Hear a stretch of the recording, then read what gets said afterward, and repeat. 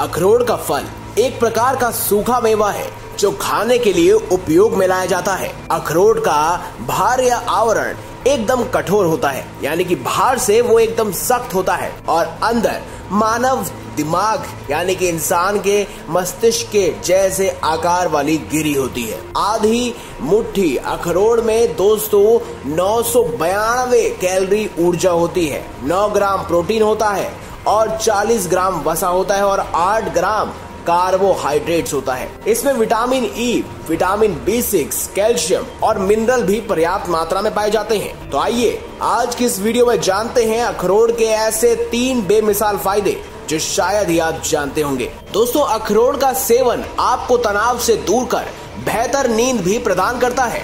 अखरोट में मेलाटोनिन होता है जो बेहतर नींद लाने में मदद करता है। वहीं omega three fatty acid blood pressure को संतुलित कर तनाव से राहत दिलाता है। वहीं दोस्तों, आपको बता दें कि अखरोट में मौजूद ओमेगा थ्री फैटी एसिड न सिर्फ़ दिल, बल्कि मस्तिष्क के लिए भी फ़ायदेमंद होता है। ओमेगा थ्री फैटी एसिड से भरपूर चीज़ें अगर आप खाते हैं तो आपकी तंत्रिका प्रणाली ठीक तरह से काम करती है, जिससे स्मरण शक्ति में सुधार होता है। वहीं अखरोट हड्डियों को मज़बूत करने का भी काम करता है।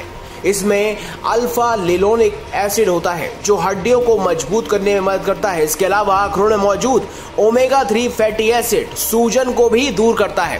दोस्तों, हुआ ना एक तरह का वरदान? तो अगर आपको भी ढेरों सारे फ़ायदे लेने हैं और बीमारियों से दूर रहना है तो आप अखरोट का सेवन ज़रूर करें। अगर आपको हमारी ये खास जानकारी या वीडियो अच्छी लगी है तो इस वीडियो को लाइक करें, हमारे चैनल को सब्सक्राइब करें और इसे ज़्यादा से ज़्यादा शेयर अवश्य करें।